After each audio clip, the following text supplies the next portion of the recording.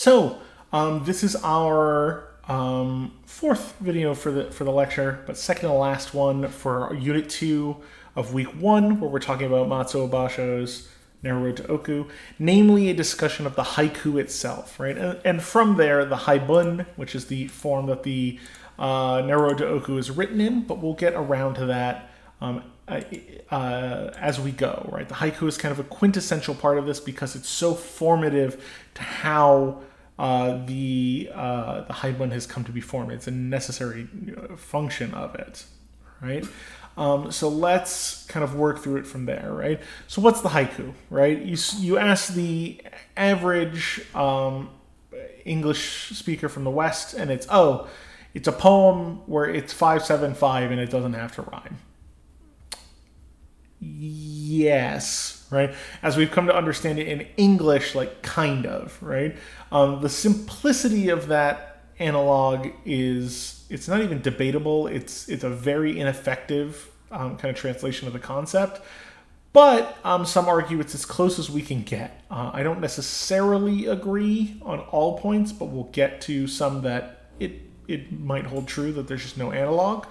But um, it's definitely something that demonstrates what can be very difficult on a cultural and language level for translating um, literature in form, like the lyric work of poetry. Okay, so basic form, right? That five seven five thing.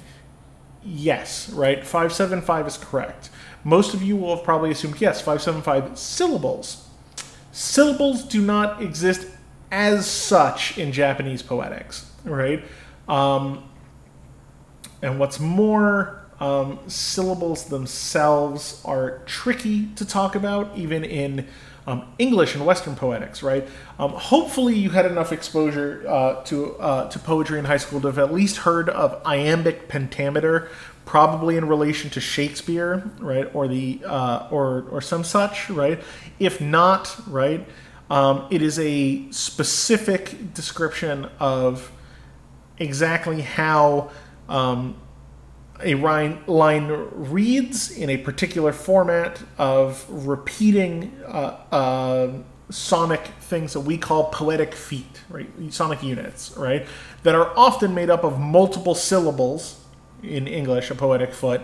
That, uh, but not necessarily. Sometimes they're single syllable foot, but we'll get to that uh, way down the line. It's not particularly relevant here, um, but um, necessarily um, they uh, dictate the first part of that phrase, iambic pentameter, dictates what the foot looks like and how it's pronounced, right? Or stressed more accurately. So unstressed stress, a rising foot, right? An iamb. So hello, right? Any any sort of down up, down up, down up. Each one of those down ups is an iamb, right? Pentameter, right? Meter, metric, foot, right? So walking, right? Multiple feet, right? Um, penta, surprise, means five, right? Five iambs to a line, iambic pentameter, right? Doesn't exactly qualify the same in Japan. Um, so when we speak to Japanese and Japanese, Japanese poetics, the Japanese poetic foot is viewed very differently because if you have any understanding of how Japanese is both written and said, right, um, there's a whole bunch of different layers to it, right? We talk very often about how um, English is probably one of the hardest, if not the hardest language to learn because none of the rules make sense and everything breaks the rules. Japanese um, isn't actually that altogether difficult to learn. Um, I spent a very long time doing so, um, but um, the the kind of bigger um, thing that like I noticed in my own studies and often comes up is that um, it's actually the fact that there are many systems at place that have that are very regulated and, and stick to the rules, and it becomes um, daunting, um, much like it often does in any foreign language that you're first learning, to kind of overcome them and, and come to understand them. Okay, um, so in Japanese poetics we have uh, two two other terms that have been kind of misequivocated to the idea of syllables, and I'm going to give you some examples of when they don't match up. Okay. Um, the first one is on, right? So sounds, po- like literal units of sound, right? Um, in English, we immediately went, oh, sound, like a single unit. So you mean like a syllable? Not quite, right? So for example, right, um, the best, the, the, the easy examples, right, you can have a word, Nagasaki, right? Nagasaki. Four syllables when we say it in English, right? Coincidentally, in Japanese, it does have four units of sound, right? Um, but one of the bigger differences, and it's not always the case in English when this happens, so it's this is where the the difficulties start to show up. When we have things like diphthongs in English, like uh, where the vowel changes in the middle, um, like uh, Tokyo, right, where it's O, the O to the U sound, right? That is an example, right? Tokyo, right? In Japanese, it's to, u, ki, o, right? So it's actually, sorry, it's four, right? Tokyo, right? So there's an OU diphthong on each of those O's, despite there not being one. When you write up the on for that, it is four units of sound. It's four on for two syllables, right? You can have three, right? So Osaka, right? So O S A K A, three syllables, Osaka, in Japanese, Osaka. Osaka, right? Four on, right? Then we get into another thing that's kind of even more directly equivalent to our idea of poetic feet. It's this idea of ji uh, or ji that are um, essentially equivalent to that, but it's idea of like specific characters that encompass, uh, encompass a sound or a, a, few sounds, right? So, like I said before, the iamb, the short long, right? Rather than being focused on the stress unstress in the in the Jap- Japanese prosody, which is prosody is the kind of the, the study of the poetics, right? Um, it's focused on like the the sounds and the order and the number they come in. This symbol means these sounds, right? Um, this character stands for that. Um, in English, they're often just called characters, which isn't necessarily correct. But again, you're starting to notice there are parallels in the language that don't necessarily exist, and we have to go to the closest thing we can work with. This is very much the work of the translator, and this is even before we're getting to to looking at words on the page and translating the, the, the literature. This is just the reality of the differences between languages can be very, very complicating, right? This idea doesn't have a direct parallel here, so we have to find the closest thing, which is fine, and what we have to do to translate. But as McGrath kind of knows in, in the, the first week, and how you've probably started to realize, and I've heard many times in the past, the idea that something is lost in translation. It's what is missing in that difference, right? Haiku, I think, is probably one of the best examples for demonstrating what can be lost in translation, or rather, um, the immense hurdle that can come from translation. So, haiku, 575 on, right? Cool. Five sounds, seven sounds, five sounds. English, closest we got is syllables. Cool, we'll use that, right? Um, now we get to another thing that is usually the biggest hurdle for a translation into Japanese.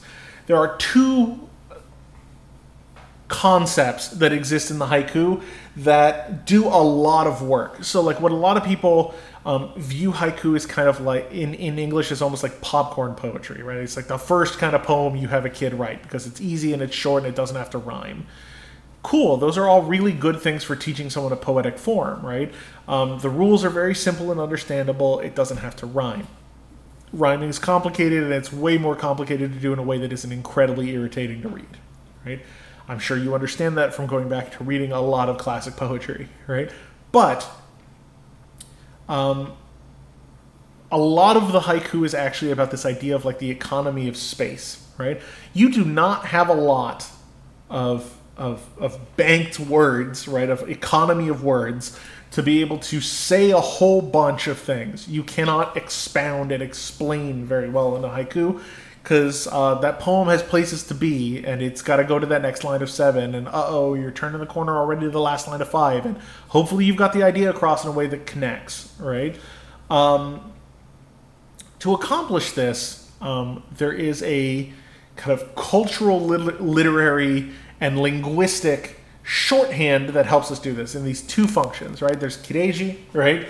Cutting words as they're often called in english right Um, these do not translate, right? So we run into some really big damn uh, complications with this, right? Where it's just, what do I do with these things? They're they're like they're shorthand signals, oftentimes for a mood, right? So well, damn, right? You run into a whole bunch of people who try to translate these in different ways. They either try and turn them into an adjective or an adverb to just straight up tell you what the mood is, mood is right? Um, oftentimes, perhaps interestingly, uh, they turn into punctuation, which in and of itself can become very vague, right? So it either becomes really blunt and loses the nuance of the poetics, or it becomes incredibly vague and also loses the nuance of the poetics, right? Um, but at least sounds more mystical, right? Or somehow uh, bigger than it is. So it's up to the uh, translator to figure it out, okay?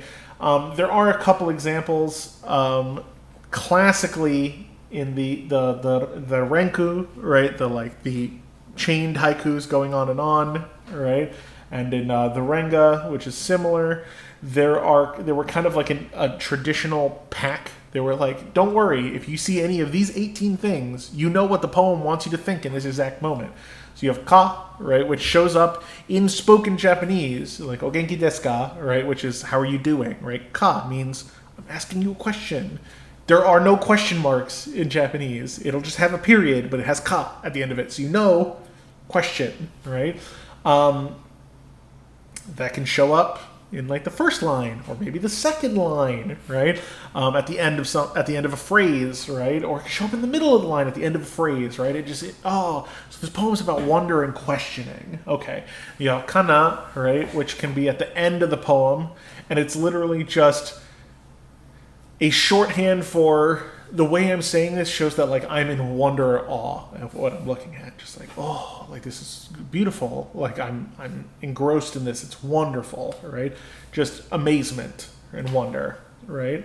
Um, uh, keri, which so a kind of an exclamatory thing in the past perfect, right? So um, that can be tricky because even then connections to which verb tenses necessarily appear in languages people just assume like well somebody always has to be able to talk uh, about an antecedent that happened at an you know is contextual to happening at a time in the past. So like we had we had arrived or they had done this thing right? Well it depends, right? You get into specific languages, they have different understandings of time that go to cultural norms. Um, there's a very famous sort of thing where um, there are a couple languages, even uh, tribal languages in, in Africa, that have been studied that don't have a word for I, right? So, uh, and things of that sort, right? These kind of things that you're like, well, how the hell do you translate that? well, good luck. That's what you study and you do a lot of research and you do your best with. This is what translators grapple with, right? So cool. It's in the. It indicates the past perfect, so it's something that had happened before this thing happened in the past. Something that had been completed before this moment. It was contextual to this past thing, and it's an exclamation. Cool, right? I guess we'll just make something be in the past perfect or the pluperfect when we when we get to it in the English translation. Cool. So we can fix that with with conjugation, hopefully. But we still have to make it exclamatory. So eh, we might be able to grapple with that, but it's hard, right? And then we get ramu or ran, right, which probability. It, it indicates probability, right? Like just what the hell, right? Like maybe is that are we going to use maybe or should or might or any of those sort of objective like it may happen or it may not sort of words? Maybe and then which one do we pick? Which one is intended? Oh we have to decide. Translation is difficult right? Um, and there are many many many many more right? There's things that indicate present perfect. There's one that indicate emphasis right? The reason they're called uh, kireji or cutting words is the idea that when they happen they kind of split the poem right and they encourage you to look at the two pieces of the poem in relation to each other. Um, disparate pieces as part of a whole is not only just a common literary thing for people to talk about, it's also very much uh, a concern of a great number of Japanese art forms. Um, so definitely of interest. Okay, um, so that's our first one, Kireji. The really really hard ones to translate, right? Um, and that we don't have a direct equal to. Then we get to Kigo, right? Season words. Okay, so if you look back a few videos, I mentioned that we're going to talk about why the frog is is the thing that everyone focuses on in that poem. I had you guys look at haiku, uh, Basho's most famous haiku and probably the most famous haiku in the world in that early first unit thing, right? Why are there a bunch of contests about a frog? Is it just because he wrote about the frog? No, right? very much like I explained, there's contests to do the six word stories like uh, Hemingway. They're not called baby, you know, they're not like everyone writes stories about baby shoes. Those probably exist, right? But it's much more, let's do something in the spirit of this, in six words, right? How can we see as much as possible in as little space as possible? So, Kigo, season words. They are words that denote a specific time, right? Um, and they're called season words because it's usually like a time of year, right? This has a whole bunch of cultural stuff to unpack about it, okay? Um, and it's inherently a cultural familiarity, right? So, frogs mean summer, right? Mean heat, water, the, all that sort of thing cool, the frog is a kigo. It means this time of year. We have related to it. It's spring or it's summer. It's warm out, the sun's out, the frogs are jumping. It's not winter when they're frozen and asleep in the ground or in the pond, right? The frog is moving. There are, you know, the, the water is fluid. The frog itself is the season word. It denotes a warm season, the summer, okay? Um, these do not often show up in English language haiku it's not that they don't always, and there are some people who I think master them in super interesting ways. Um, David Trinidad has a whole bunch of really hilarious haiku that are called reruns that are all specifically brought from language from different uh, literal reruns of old TV. You know, and like I don't remember the specific one, but it's like oh, like Batman and Robin fighting the Joker bam, right? And it's like, okay, so like bam is almost like the cutting word because it's supposed to be exciting. So there's kind of a kireji. And then the fact that we're talking about, you know, this specific era, like the Batman TV show. Oh, you mean the one from like the, the, the 60s. Okay, so you've put us in a place in time, right? It's got its foot in the door of these concepts and plays with them in interesting ways, right?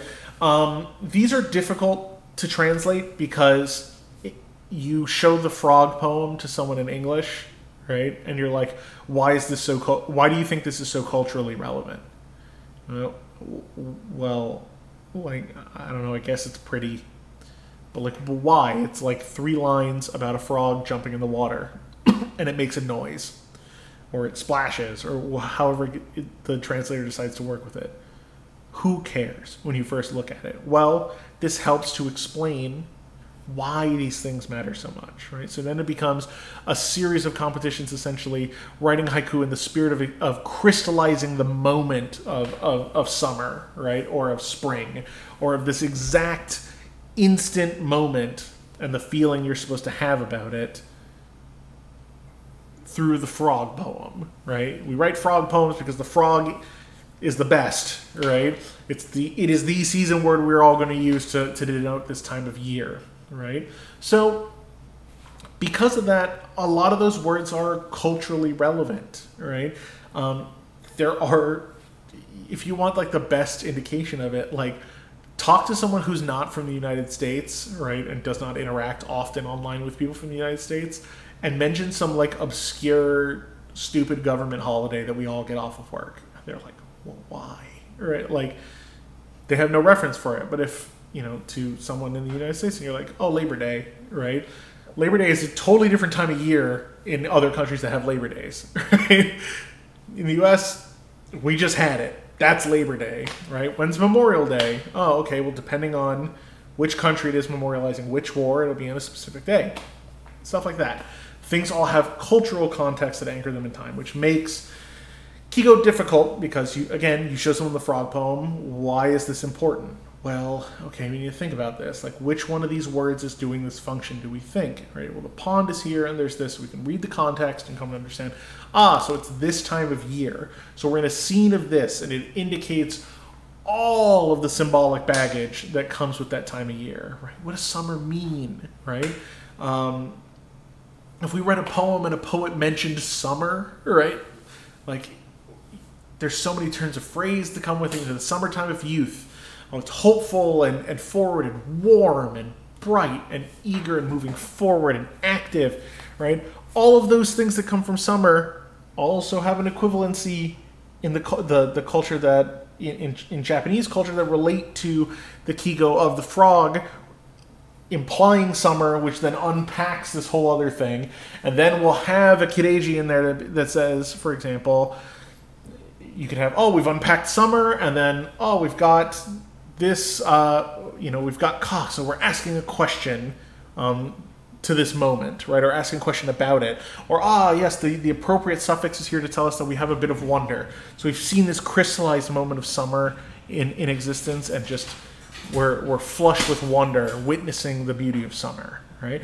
Um, very much, right, this idea of uh, how these words work and how they relate namely Kigo in their relation to usually being aspects of the environment or nature that tie us to a specific time and the environment therein. Um, relates back to how often haiku reflects on nature and things like because um, it's a very kind of traditionally Shintoist vibe. Shinto and Buddhist in both order. Um, Shinto is kind of like a historical, um, traditional faith of Japan, has very, very strong connections to the natural, right? That the kami, the spirits, the gods exist in the uh, in the natural world around us, in in the small and the large, in the in the um, very exemplary and strange monument of nature to the most basic thing, right? Um, so when you go and you sit at a pond and watch the frog, you know, like that reverence for moments in nature and things from nature is a very cultural thing, right? That we see come up again in other cultures. Of course, the Romantics love nature in in Western lit, right? But that specific relation to it and how they're looking at it is very quintessentially Japanese, right?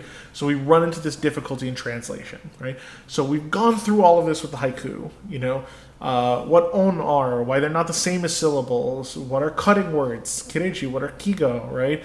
How all of this ties into a cultural understanding and linguistic differences that do not easily translate to English. And then we give an entire book of them with prose on top of it to make it even more complicated to Donald Keene, who did a whole bunch of studying and is very well read in Japanese and in culture, and said, and he said, I think this book is amazing and should be translated in this way, and I'm going to go through and translate it with our current understanding of the language. Because there's one extra level that that that differentiates a difficulty in translation that we're going to talk about in our last section, which is on the book in particular.